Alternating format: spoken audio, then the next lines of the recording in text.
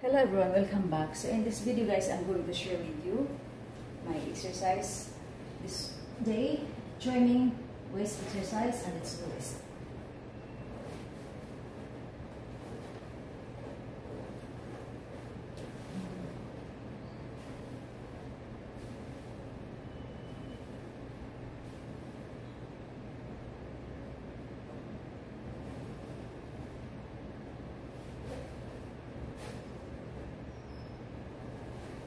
within know this.